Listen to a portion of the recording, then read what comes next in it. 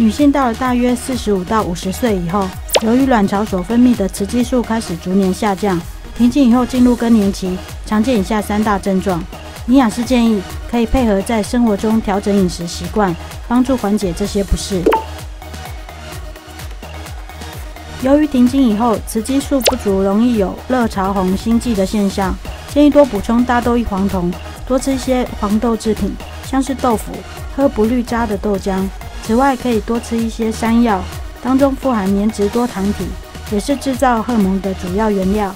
做成山药排骨汤或山药鸡汤，对于更年期妇女都是不错的选择。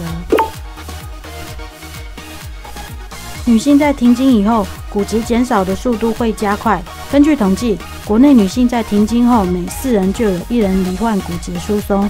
平常不容易察觉，但可能稍微一跌倒或弯腰，就容易增加骨折的风险。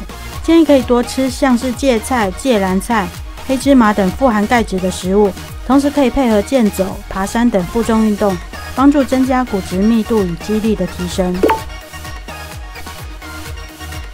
更年期妇女体内脂肪的分布也会受荷尔蒙影响出现变化，常见腹部脂肪增加，腹部肥胖较为明显。